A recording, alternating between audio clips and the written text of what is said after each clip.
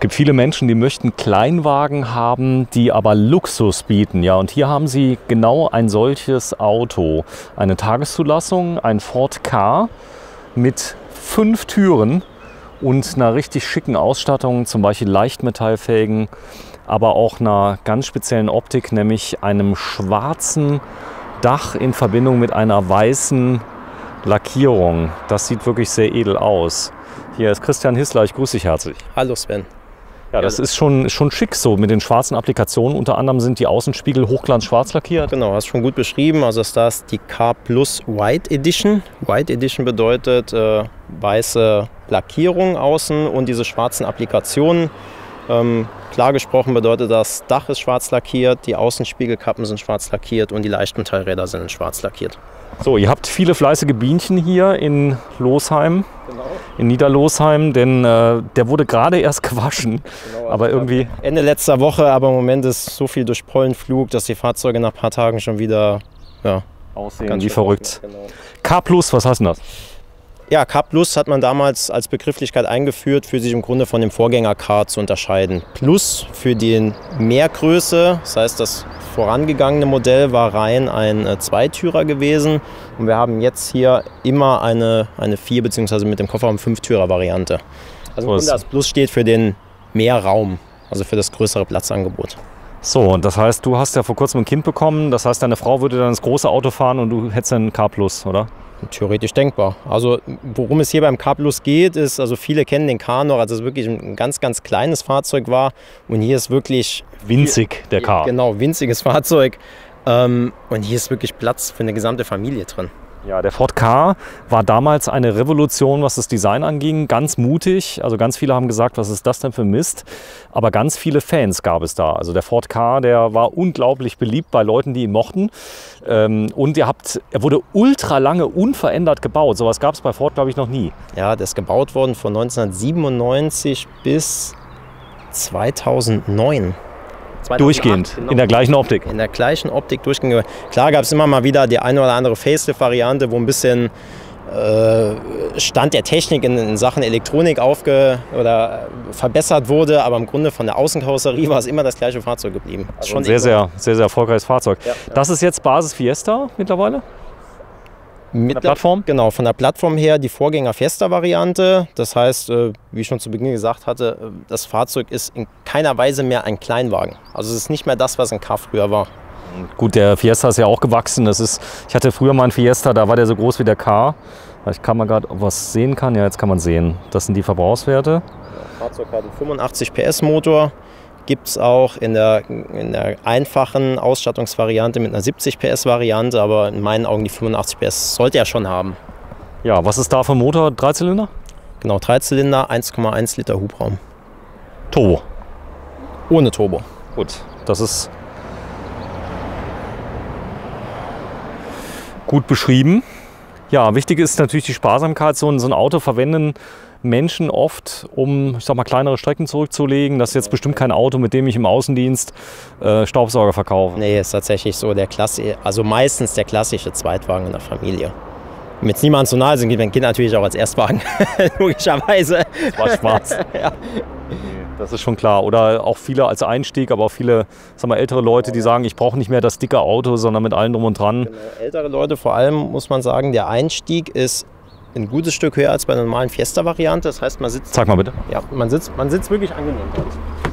Denn äh, Einstieg, ganz großes Thema, man, man fällt nicht tief rein, genau. sondern man kann sogar den Sitz, der ist höhenverstellbar? Der Sitz ist höhenverstellbar, genau, aber man kommt wirklich gut rein und raus. Also es ist sehr, sehr angenehm im Vergleich zu den, ich sag mal, zu unserer Fiesta-Variante Natal. Also er wird, viel, er wird wirklich viel von älteren Personen gekauft. Ja, ein bisschen gemein der Vergleich, weil du bist 1,88 Meter. Ich steig nochmal aus. Ja. Man kann auch anders einsteigen, wenn du mal ganz lieb mal dich mal reinfallen äh, lässt mit dem Popo zuerst. Okay. Denn das ist das, je nachdem wie tief das Auto ist, das würde auch gehen. Man kann auch ganz bequem dann nochmal aufstehen, ja. wenn man nicht gerade 1,88 ist. Ja, und 1,88 geht trotzdem. Also geht, geht trotzdem. Probleme irgendwie an nee. Nee, ich meine nur eine kleine Person, die würde dann, die, die hätte ja auch nicht so ein, äh, sag mal, so lange Beine wie du. Das heißt, die würde dann etwas besser reinfallen. Höherer Einstieg, wichtiges Thema.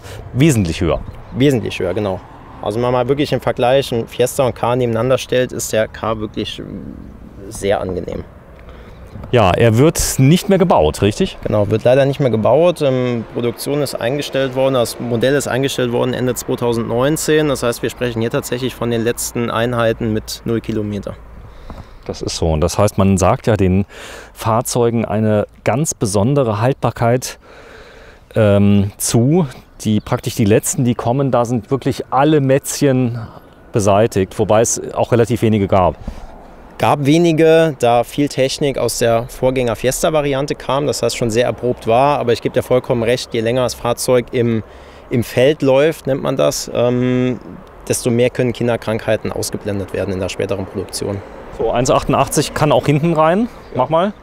Jetzt bin ich mal gespannt. In einem Ford Car hinten einsteigen habe ich noch nie gefilmt. Okay. Jetzt das erste Mal, aber auch kein Problem, oder? Nee, kein Problem. Eben weil ich habe ja vorne gesessen, also Sitz war vorne auch normal für mich Du, du hast ihn jetzt nicht äh, extra. Also ich habe ihn nicht mit Absicht irgendwie weiter nach vorne gerückt. Also das ist wär's. sag mal. passt auch. Sicherheit, hat jede Menge Airbags. Hat jede Menge Airbags, Isofix-Systeme hinten serienmäßig. Ähm, ja. Gut, ein paar Sachen hinten hat er jetzt nicht. Er hat jetzt keine elektrischen Fensterheber hinten, aber vorne. So, aber mein Gott, ist ja immer noch ein Kleinwagen. Was mir besonders gut gefällt, das sind so Kleinigkeiten, an die die wirklich gedacht haben, wie zum Beispiel bei der Tür hinten nochmal so eine kleine Gummilippe eingebaut, die bis hinten hingeht. Das versaut er nicht alles immer direkt. Genau, das richtig. Ja. Also ist auch so schon so ein paar kleine Details, wo ich mir Gedanken gemacht habe. Ja. Haltbarkeit, ja, ihr seid seit 60 Jahren Ford-Händler. Es ist schon fast ge geschäftsbedrohend, ja, wie haltbar die Autos sind. Ja, es geht äh, kaum was kaputt. Ist richtig. Also wir vergeben jetzt hier bei so einem Fahrzeug auch eine entweder sogar fünfjährige oder bis siebenjährige Garantie können wir abschließen aufs Fahrzeug. Ähm, Und dabei sind zwei Jahre ab Erstzulassung. Gell? genau, zwei Jahre ab Erstzulassung und kann erweitert werden auf fünf Jahre ab Erstzulassung oder sogar bis sieben Jahre ab Erstzulassung. Ähm, klar, Thema Haltbarkeit, es geht wirklich weniger kaputt an den Fahrzeugen. Mach mal auf, bitte. Hat hier hinten einen Druckknopf im Kofferraum. Druckknopf. Genau, für Ja. elektronisch zu öffnen, kann einfach angehoben werden. Und wie man hier sieht, hier ist auch jede Menge Platz für Einkäufe und sonstiges zu erledigen. Ja, man kann den ganz bequem zum Beispiel auf der linken Seite mal umklappen. Mach mal bitte. Das ist auch ruckzuck passiert. Und dann habe ich Platz zum kompletten Durchladen und kann dann auch mal zum Möbel Martin oder zum Ikea fahren. Oder auch mal zwei, zwei Kästen Bier kaufen. Selbst wenn ich hier was höher laden will, lässt sich auch relativ schnell herausnehmen, die Hudablage. Aber so vier bis fünf Kästen Stubbi passen schon passen rein rein, ohne Umbau, oder? Ja, ja, die passen rein, schon selbst erprobt. So. Der ist knatschneu, muss man sagen. Der hat wie viele Kilometer? Null. Der hat 0 Kilometer. Wahrscheinlich, wenn wir jetzt drauf gucken, vielleicht 10. Die sind aber natürlich von der Überführung ab Werk. Ähm, ist ein theoretisch ein Neufahrzeug, aber ein Tag zugelassen, Ende 2019. Ende 2019, so ist es. So, wir holen mal kurz die Daten, wenn du mal so lieb bist, die mal rausnimmst. Es gibt ein spezielles Angebot bei dem Fahrzeug. Übrigens sind so Kleinigkeiten sind integriert, wie dass sich zum Beispiel eine Armauflage ist mit drin, die sehr praktisch ist. Das äh, kann man vielleicht auch mal kurz zeigen. Das sind alles so, so Kleinigkeiten auf der Fahrerseite. Denn wenn ich mal längere Strecken fahre, dann weiß ich nie, was soll ich mit meinem rechten Arm machen. Das ist damit, hier habe ich Ablagen für Getränke und so weiter drin. Das zeige ich mal gleich. Man kann das Smartphone hier im Grunde abbrechen gehen. Im Grunde hier reinklemmen, wenn ich jetzt eine Navigation benutzen möchte. Also Fahrzeug hat eben hier keine Navigation serienmäßig drin. Aber viele machen das ja mit Google Maps. Genau, richtig. sagen. Wenn ich jetzt hier das Pendant zu Apple habe, kann ich hier im Grunde mein Smartphone einspannen und das im Grunde als Navigationssystem nutzen. Das ist ja cool, habe ich noch nie gesehen. Doch, habe ich gesehen bei ähm, Wohnmobilen von Fiat. da ist Ja. drin. Also praktischerweise ist auch hier äh, am Ende dieses Fachs ein USB-Anschluss, das heißt, dass ich direkt die Ladefunktion habe. Also wenn ich jetzt wirklich eine längere Reise mache und das hier als Navigation nutze, kann ich direkt äh, meine Stromversorgung zum Laden hinten anklemmen. Ich habe ein Multifunktionslenkrad mit drin. Das heißt, die wichtigsten Funktionen kann ich am Lenkrad machen. Ich habe ein ein entsprechendes Audiosystem drin mit Bluetooth. Genau. Äh, Bluetooth-Schnittstelle ist drin für die Freisprecheinrichtung und ein sogenanntes Bluetooth-Streaming. Ich habe hier in der Variante ein, das sogenannte Ford Winter-Paket drin. Ähm, heizbare Windschutzscheibe, heizbare Sitze sind. Die Äh, Windschutzscheibe auch beheizbar. genau, Windschutzscheibe ist auch beheizbar beim K. Ja. So, der hat eine Klimaanlage eingebaut, eine Klimaautomatik. Normale Klimaanlage ist hier Normale. Klimaanlage. Aber die Klimaanlage heißt, ist es heiß, 35 Grad, das haben wir jetzt öfter mal gehabt. Äh, runterkühlen auf Frost geht. Ganz wichtig.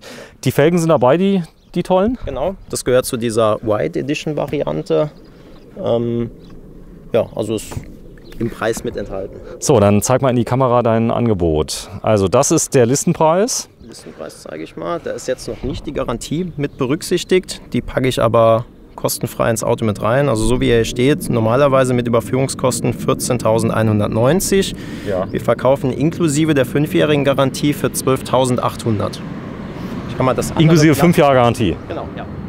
Für der 12 fünf Jahre Jahre. Garantie. Jetzt mal eine Frage, ist das eine Originalgarantie oder ist das eine Zusatzgarantie? Das ist eine Zusatzgarantie in dem Sinn, also die Herstellergarantie ist immer ähm, ab Erstzulassungsdatum zwei Jahre, Der, der ist Ja. wann zugelassen worden?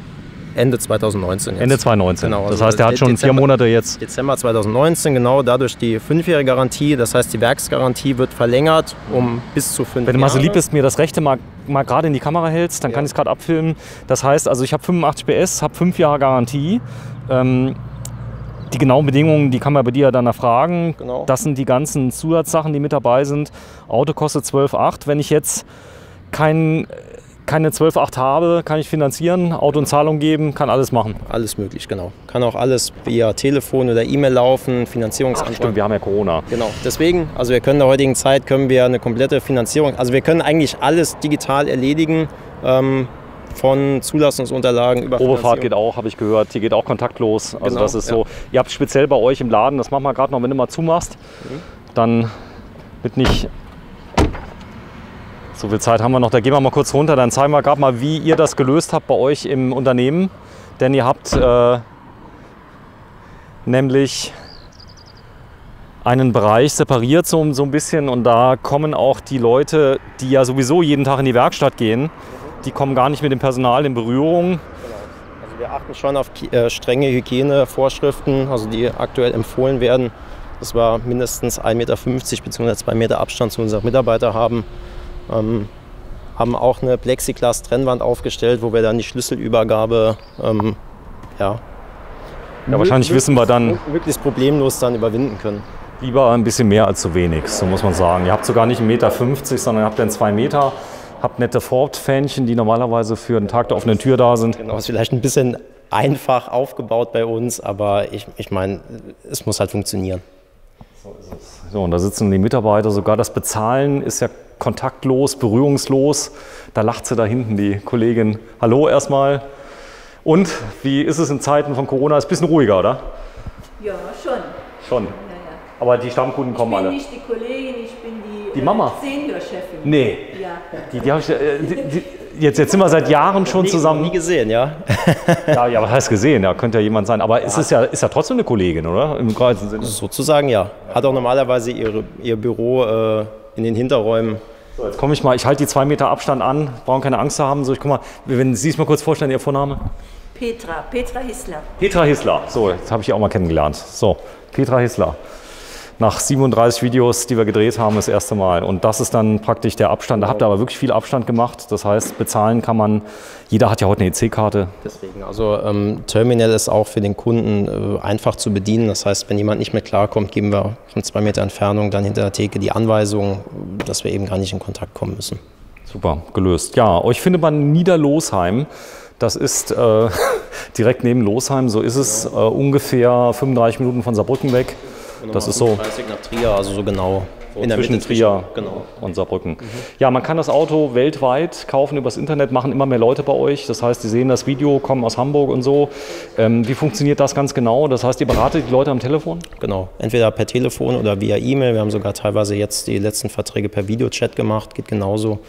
Ähm, man kann ja heutzutage Personalausweis, IBAN-Nummer, alles durchgeben. Wir können alles vorbereiten, Finanzierungsanfragen, Zulassungsunterlagen, auch wenn es hier in der Gegend Saarland, Rheinland-Pfalz wäre, lassen die Fahrzeuge dann auch für Sie zu. Ähm, alles unproblematisch. Wenn Leute von weiter weg kommen, können wir sie am Bahnhof abholen. Funktioniert. Sagt der Ingenieur Christian Hissler. Ja, du selbst hast ja eine Ausbildung gemacht als Kfz-Mechaniker. Ihr seid seit 60 Jahren Ford-Händler, muss man dazu sagen. 63. Die, 63 mittlerweile. In dritter, nee, in vierter Generation mit deinem Sohn, der jetzt gerade geboren wurde. Genau, Dann vielen Dank. Ja, wenn Sie Lust haben, kaufen Sie. It's Corona Time, zeigt nochmal den Preis. 12.800 Euro und wie man den denn finanziert, da könnt ihr euch mit Christian Hissler unterhalten. Tschüss, Christian. ja.